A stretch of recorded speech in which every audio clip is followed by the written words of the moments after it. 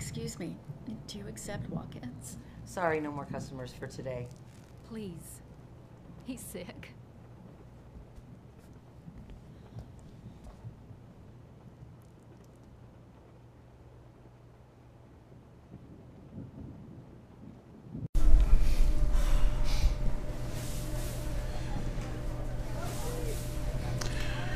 Son, Sweetie, your mom has something to tell you. your father and I have been having issues lately. Your mother doesn't think that things are going very well. Your father's making it really difficult for us. And I, I've been trying to work things out with your mother. your father and I, we think it's best Your that. father and I. B, please don't drag me into this. You know, it was a bad idea to come down to the school. Can I speak? You've spoken enough.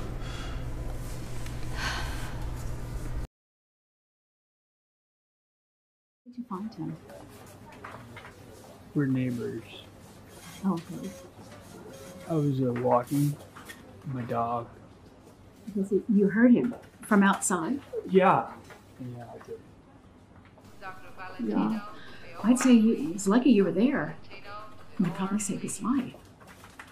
Sorry for the mess. I wasn't expecting a guest today.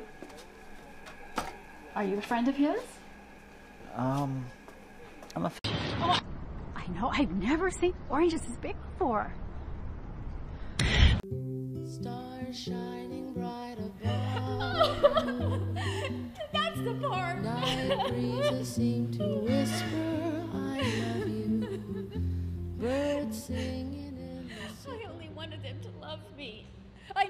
everything about them, everything.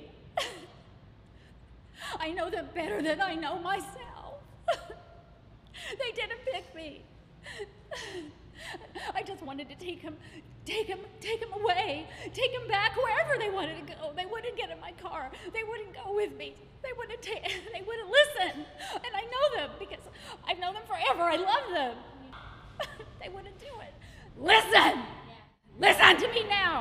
They wouldn't do it! They wouldn't do it! I want them to listen to me. I want them to get in the car because I want them to love me! They